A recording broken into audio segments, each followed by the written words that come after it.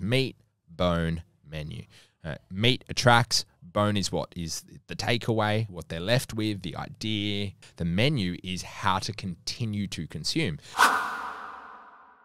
So if I'm sitting down and trying to write a piece of content and battling to come up with an idea, what I might actually do is go, well, what are the problems I'm experiencing right now? I listed out a whole bunch of problems, and one of them is I don't know what to say. And then I was like, well, what do I normally do when I don't know what to say? Well, I go back to a formula every piece of content, if I don't know what to say, will fall back on this, which is the content needs to have three parts to it. The first is the meat. So when we think about like buffalo wings, and we've got a big plate of buffalo wings in front of us, the thing that appeals to us is the meat. That's what attracts us. We can consider that the hook. Content's exactly the same. Um, you can have a great piece of content, but if there's nothing appealing, if there's nothing that hooks the the audience in, it often goes unnoticed. If you don't get noticed, nothing, none of the quality of the content matters. It just doesn't get read. Then the next element of buffalo wings is what is left over. That's the bone.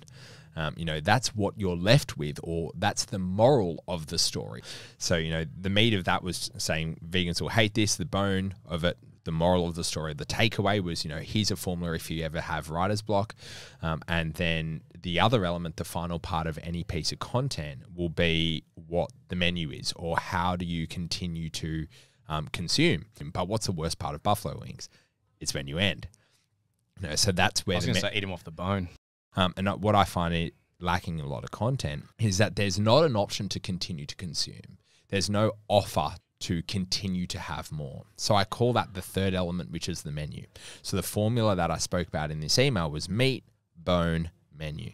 Uh, meat attracts, bone is what is the takeaway, um, what what they're left with, the idea, um, the system, the formula in this case. The menu is how to continue to consume. So let's say I have buffalo wings, but you want more. What do you do? You go back to the menu and you order something else. Um, and that's where you essentially need to provide some type of solution for the audience to continue to consume more of what you provide.